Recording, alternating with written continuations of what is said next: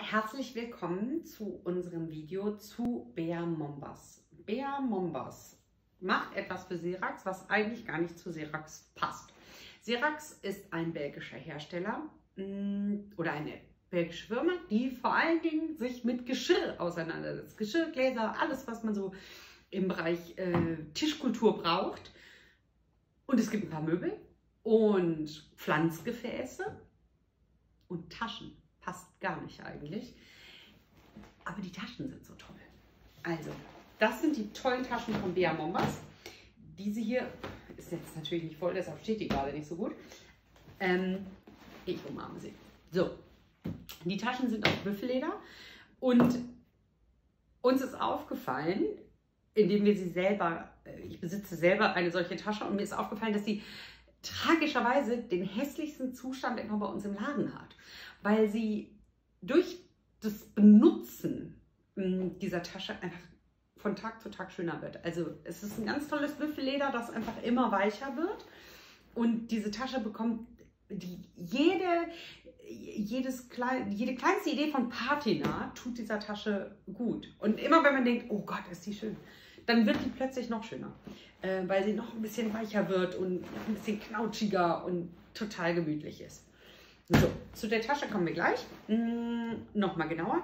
Es gibt auch eine Mini-Handtasche für Leute, die gar nicht so einen großen Shopper wollen. Und was auch echt praktisch ist, ich lege es jetzt mal hin. Was auch wirklich praktisch ist, ähm, ist so ein Miniaturportemonnaie. Also ähm, im Augenblick wird ja ohnehin gesagt, wir sollen nicht mehr so viel Bargeld zahlen, weil das also kein verseucht ist. Äh, was übrigens auch tatsächlich wahr ist. Äh, wir arbeiten ja mit sehr viel Bargeld, ähm, weil ihr mm, äh, bei uns gerne auch mit Bargeld zahlt, was ihr auch jederzeit dürft. Aber ähm, ich glaube, ich habe mir noch nie so lange, so häufig und so lange die Hände gewaschen, wie äh, seit es Yoyama gibt. Das ist unfassbar. Also wir waschen uns eigentlich wirklich einmal stündlich, versuchen wir uns die Hände zu waschen, weil man, weil das wirklich, äh, wirklich eigentlich ganz schön schmutzig ist, das Geld. So, das hier ist also etwas, wo man so kleine Kärtchen reintun kann. Äh, Führerschein, ähm, wenn ihr schon den neuen Führerschein habt, was ich noch machen muss. Ich habe noch den alten Führerschein und ähm, also diesen Lappen, diesen oh, oh pinkfarbenen. Mm. Und ähm, die ID, äh, Personalausweis, passt da alles rein, sieht super aus, hat so einen kleinen Haken. Äh, also fest installiert, nicht wirklich. Keine Haken, sondern es hat nur ein, eine kleine Schlaufe installiert. So, das gleiche gibt es auch hier. Mm. Ich mache das hier mal auf, damit ihr auch seht, dass man es sich auch umhängen kann.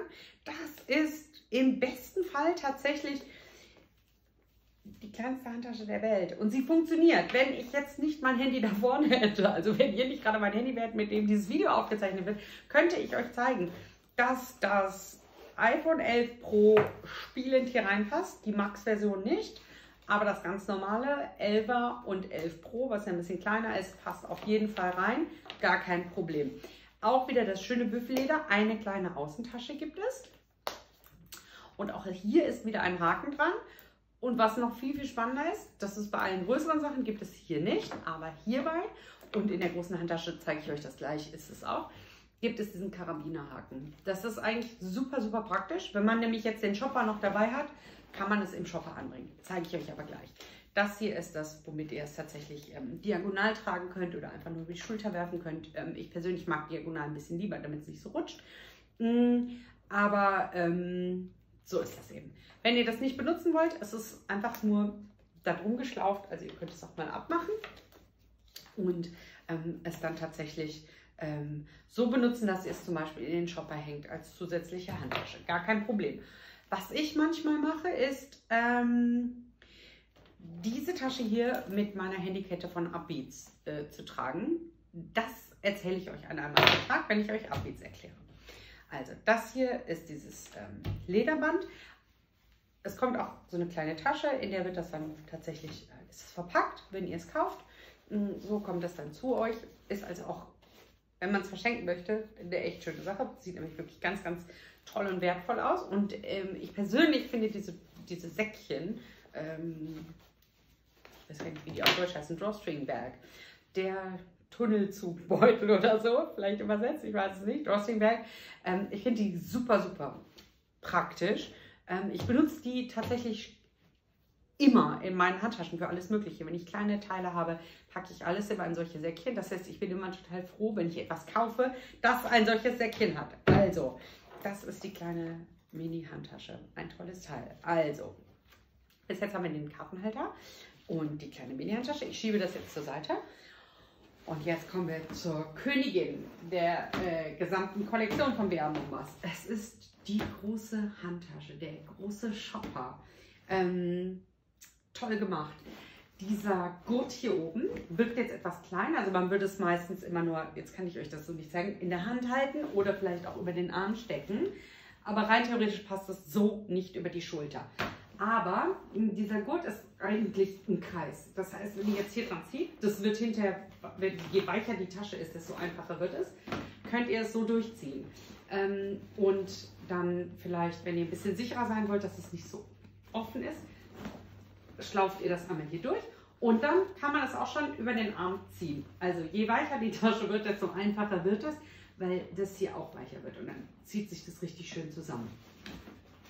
Also man kann sie auch über die Schulter werfen, diese Tasche. Sehr, sehr praktisch. Jetzt kommen wir zum Innenleben. Dann muss ich auch nicht mehr auf den Zehenspitzen stehen. Ähm, ich nehme das mal fast. So. Also, auch diese Tasche kommt wieder in einem großen Drawstring Bag, also einem großen Tunnelzugbeutel oder wie das heißt. Ähm, wird da drin verpackt, sieht super aus. Ähm, steht auch wieder drauf, Bea Mombas, hm, die Designerin. So, innen ähm, ist die Tasche eigentlich ganz, ganz einfach gehalten. Sie ist ähm, mit Baumwollcanvas gefüttert, ähm, ganz fester Stoff und der ist ein bisschen hell. Das finde ich persönlich super. Ich weiß nicht, ob ihr das kennt, aber ihr kauft eine schwarze oder dunkelblaue Handtasche, mm, die selbstverständlich ein ähnlich farbiges Muster hat. Dann fällt euch auf, dass euer Handy schwarz ist, euer Portemonnaie schwarz ist, der Schlüssel auch sehr dunkel in einem dunklen Etui ist und eigentlich alles, was ihr in diese Tasche tut, schwarz ist. Und wenn ihr die dann aufmacht, merkt ihr, das Licht plumpst ins Schwarze und man findet gar nichts. Also weder hier ich sage ja immer, in großen Handtaschen braucht man eine Beleuchtung und einen Suchhund. Also, in dieser Tasche bräuchte man das rein theoretisch auch, aber sie ist wirklich hell gehalten. Das macht das schon mal sehr, sehr viel einfacher, weil man alles sehr viel besser findet. Schönes Canvas, äh, wirklich eine tolle Qualität. Und dann gibt es diese kleine Pooch. Und jetzt sind wir wieder bei dem Haken. Also auch hier gibt es wieder einen Haken dran. Das ist hier oben befestigt. Das heißt, ihr könnt die Pooch ähm, nicht verlieren. Das ist wirklich, wirklich praktisch. Also sie ist richtig schön befestigt, ähm, hat einen schönen Lederrand, das heißt, ähm, sie geht eigentlich am Rand nicht wirklich kaputt, weil das schön versteift ist, hat einen Reißverschluss. Ähm, hier könnt ihr also wirklich wichtige Unterlagen unterbringen oder ihr benutzt eine Schminktasche, wie ihr gerne möchtet. Man kann sie reinigen. Leder ist jetzt so, hm, Leder und die Waschmaschine. Es gibt, da scheiden sich die Geister. Das müsst ihr für euch selber entscheiden. Natürlich kann man Canvas in die Waschmaschine schmeißen und so viel Leder ist nicht dran. Und wenn ihr es hier oben dann ein bisschen abmacht, dann dürfte dem das auch nicht schaden. Nehmt irgendwie einen Wollwaschgang. So, dann gibt es hier drin, weiter unten, zwei einzelne, vielleicht kann man das so sehen, äh, zwei einzelne kleine Taschen, in die man was reinstecken kann. Die liegen relativ weit unten. Das heißt, wenn ihr hier euer Handy reinpacken wollt, ähm, dem Taschendieb ist da, also der hat da schon eine Hürde zu überwinden, weil es wirklich weit unten ist, ähm, sich da durchzukämpfen und dann was mitzunehmen, falls ihr da Sorgen habt. Aber es gibt auch noch ein weiteres Reißverschlussfach, das ist auf der anderen Seite, ich drehe das mal so rum. Ähm, das ist nicht so tief, also es ist so ähnlich wie bei Marimekko, habe ich euch bei Marimekko ja auch schon mal gesagt. Dieses Seitenfach nicht ganz so tief wie alle anderen Fächer ist wirklich praktisch, weil nicht alles nach unten durchrutscht und ihr überhaupt nicht mehr weiterfindet. Und ähm, dann gibt es, das war die Tür, die ist gerade aufgegangen. Ähm, aber es hat sie jemand von außen aufgeschlossen, deshalb ist alles in Ordnung. Auch hier, wie in allen großen Sachen, habe ich ja gesagt, gibt es den Karabinerhaken. Da könnt ihr noch was dran anbringen. Also vielleicht euren Schlüssel, damit der eben auch nicht nach unten durchrutscht und ihr im Regen ohne Vordach vor eurer Haustür steht und nicht reinkommt. Alles schon kennengelernt. Wenn ihr jetzt diese Tasche benutzen wollt, ich habe ja vorhin einmal diese, das große Band abgemacht, dann könnt ihr das auch einfach hier mit anbringen. Also da, wo der Haken ist, kann man eben auch noch mehr anbringen. Und dann hättet ihr zum Beispiel noch mal eine Innentasche. Ähm, die ihr abmachen könnt. Zum Beispiel, ihr kennt das ja vielleicht auch, wenn man ins Museum geht, äh, immer diese Situation, entschuldigen Sie, Ihre Handtasche ist zu groß. Oh, ja gut, schließen Sie die Handtasche mit weg. Na toll. Okay, was mache ich jetzt mit meinem Handy? Mein Handy würde ich eigentlich ganz gerne mitnehmen. Ja, das müssen Sie dann in der Hand halten. Ja, ist okay.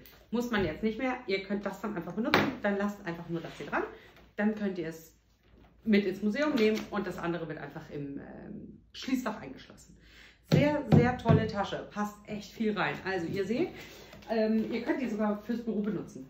Da passt ein ganzer Ordner mit rein. Gar kein Problem. Ähm, wirklich, wirklich tolles Teil.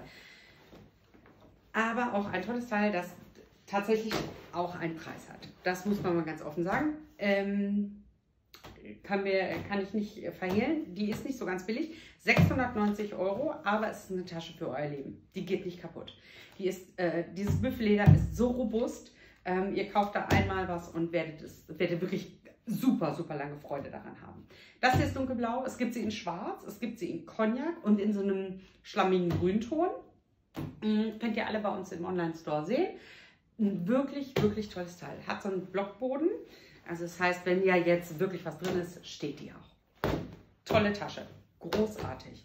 Ähm, die Pflege ist ziemlich einfach. Ich würde mal ab und zu, ähm, also ich mache das tatsächlich ab und zu, dass ich, ab und zu, also jetzt hört sich das wieder an, als wenn ich so vorsichtig und, und ordentlich wäre. Ab und zu, also ich habe es einmal gemacht bis jetzt und ich habe es schon sehr lange, ähm, mal so Lederwachs benutzen oder so. Äh, wirklich, äh, ist ganz, ganz toll. Funktioniert super.